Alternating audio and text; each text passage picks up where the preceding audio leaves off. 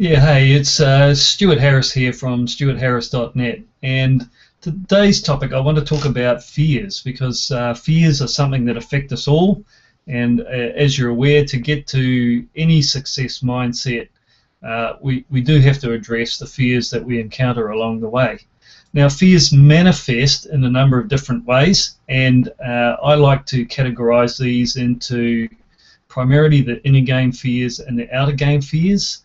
And for the purpose of this video today, I'm, I'm talking about our inner game. Um, I'd like to address that and uh, the acronym that I want to use, there's many acronyms for fear, but the one I want to use today is the acronym uh, False Expectations Appearing Real.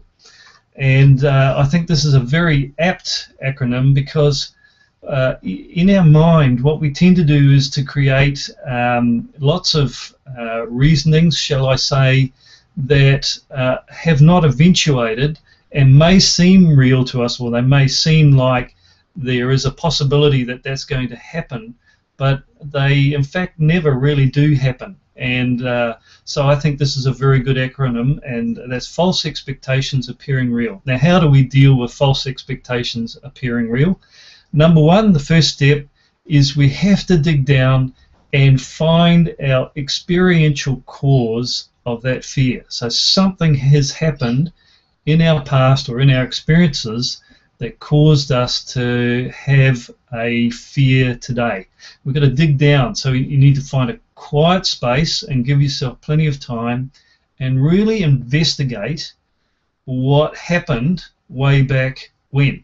You've got to go back, find that cause, and because our mind does some tricky things with us, what I want you to do then is once you think you've found the cause, I want you to find the cause of the cause. Because quite often uh, we've hidden this in some subtle deliberations in our mindset, and we won't let that materialize.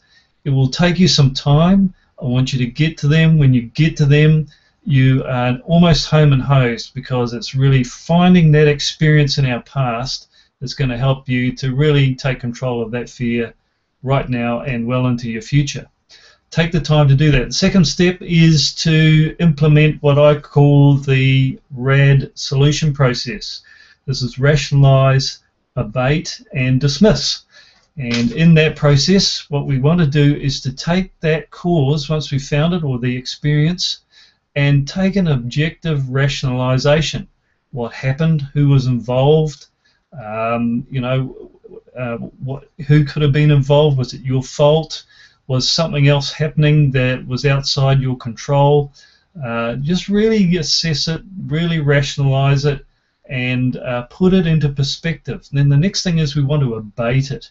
So we want to drop it down and minimize its effect on us because uh, now that you've found the cause and you've gone through somewhat of a rationalization process, should already start to feel like it's you know not really a major anymore. And we want you to continue that process and put it into effect like as if it's a, a, a window in a computer screen that's diminishing and is going to minimize right to nothing.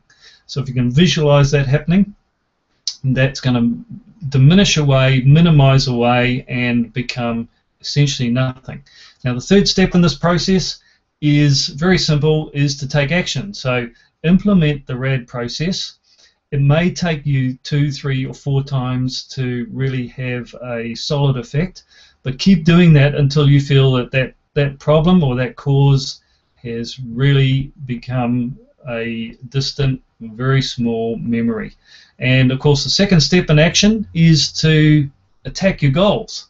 And this is where we work on our fear process in our outer game. This is part of my second video on this topic.